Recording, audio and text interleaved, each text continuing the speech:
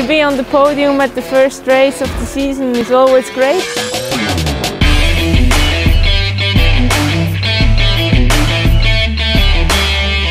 First race, first victory, so never started so good in the season.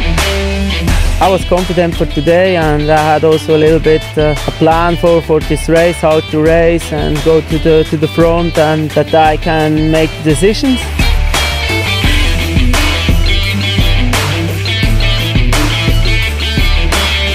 was a good kickoff for the season 2019. Uh, it was a good kickoff for myself and yeah, it's a technical track and I'm super happy with my win.